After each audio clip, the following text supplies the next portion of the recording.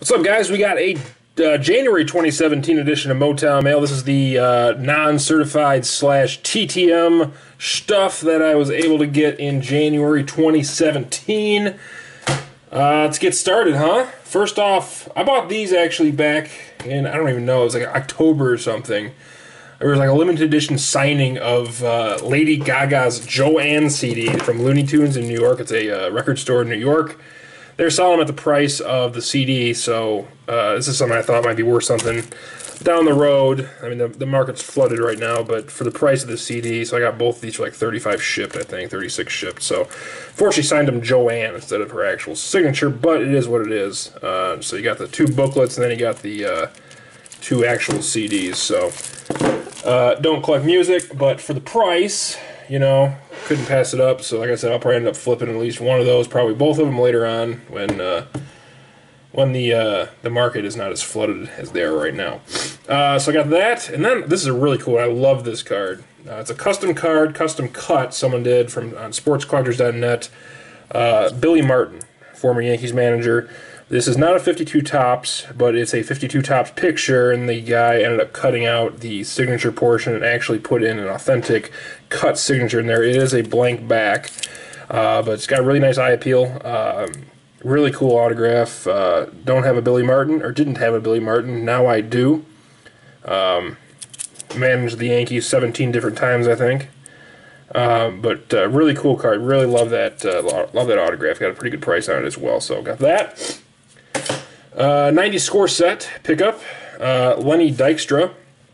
Fairly tough autograph to get. Um, but uh, he, I sent this in for a private signing maybe a year ago, and he ended up canceling. Um, so I was able to get this uh, from someone that already had it signed.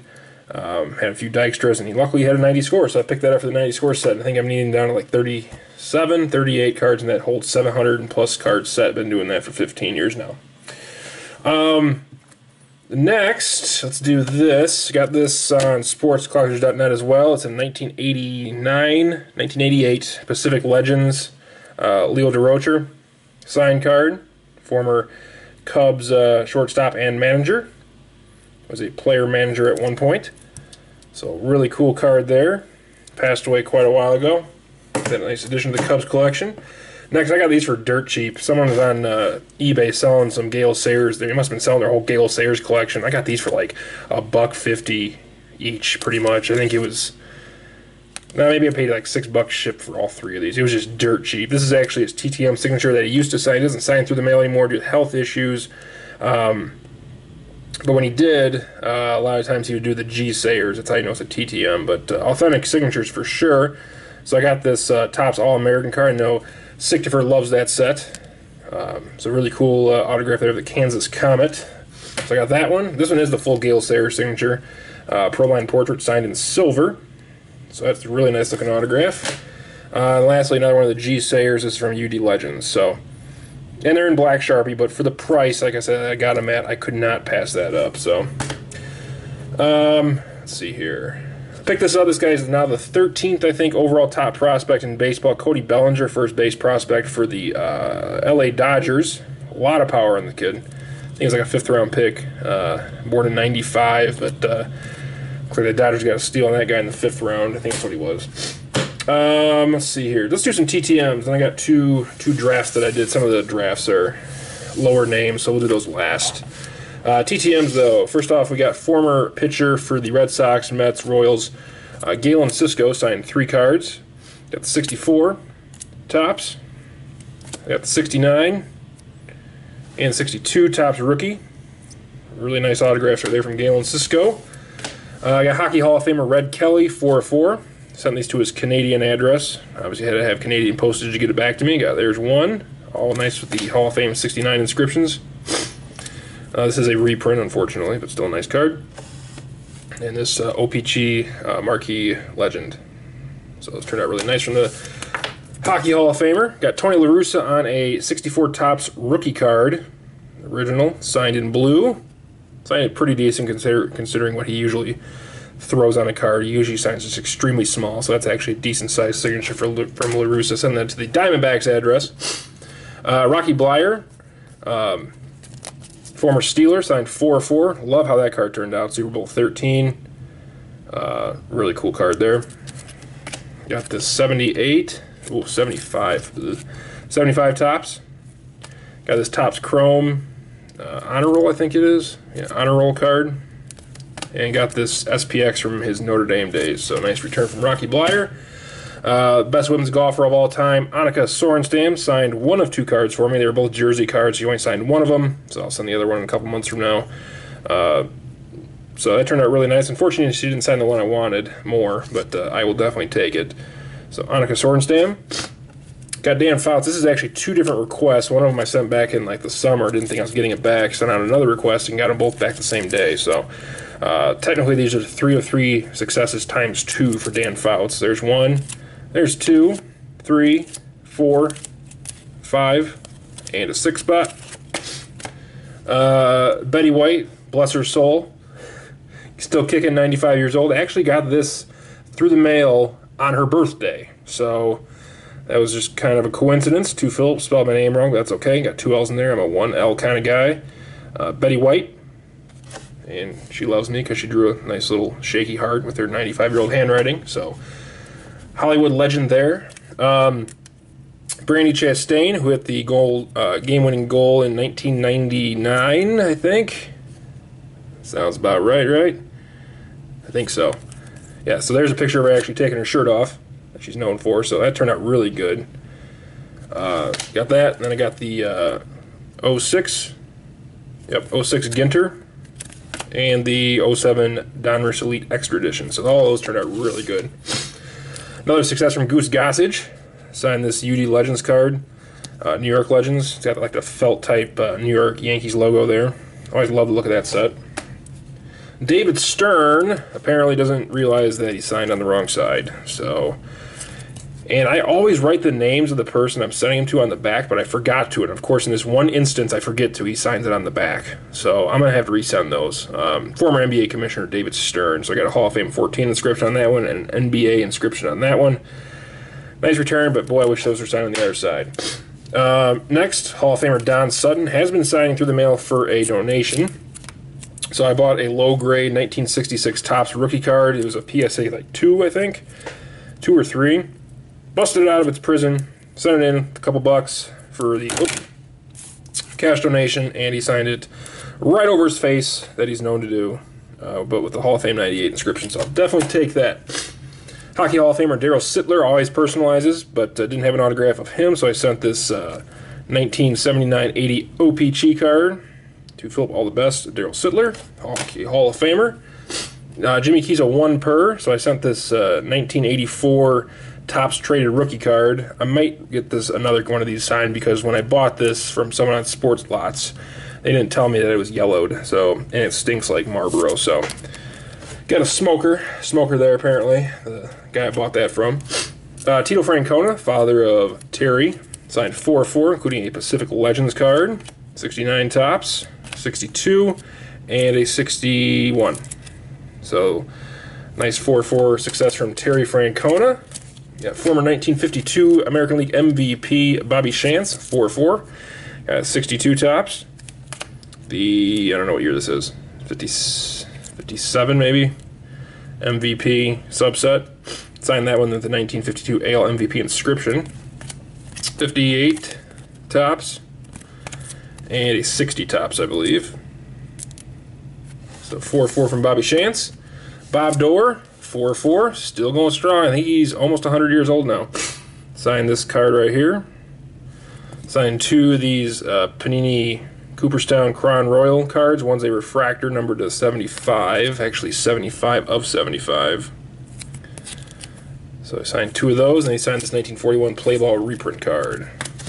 Next, uh, Football Hall of Famer Charlie Joiner signed four more cards for me, including his rookie card, and three more. Jim Willis, former Cubs pitcher. This took like six, seven months to get back, and uh, rough autograph, but man, he's still uh, still signing away apparently. So Jim Willis on a 54 Topps Archives card, as well as two index cards. I appreciate the effort and the response from Jim Willis. Next one, this one kind of ticked me off a little bit, but you know you can't really complain about TTM successes when they're not charging anything. Dick Vitale sent me this little promo signed in red, bent in the middle, and he signed my three cards in red Sharpie. And he ended up putting a paper clip on them, so you can see the indentations on that one. A couple paper clips right there, and it's on the Sport Kings one as well. Probably harder to see because it's not glossy. Yeah, there you go. So all kinds of dents on that, signed in red sharpie. So I wasn't real thrilled about that because this wasn't. I don't think that was the cheapest card either. The Sport Sport Kings card. Maybe it was. I don't even remember. I know they used to be fairly pricey, but uh, that's it for TTM's. Probably send a Dickie V again. Hopefully he'll not paperclip my cards and hopefully sign something other than red.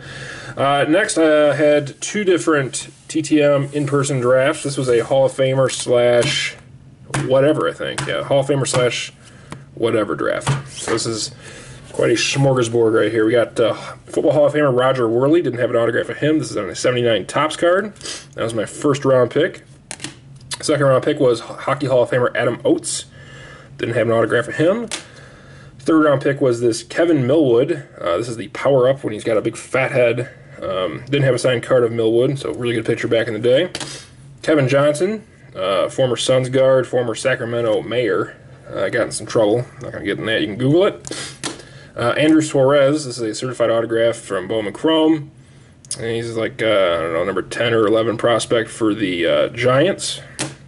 Alex Arias didn't uh, have this former Cubs autograph. Nice autograph, too. Uh, Clint Hurdle, Pirates manager. This is when he was with the Rockies. Got Bruce Bochy, 88 Topps.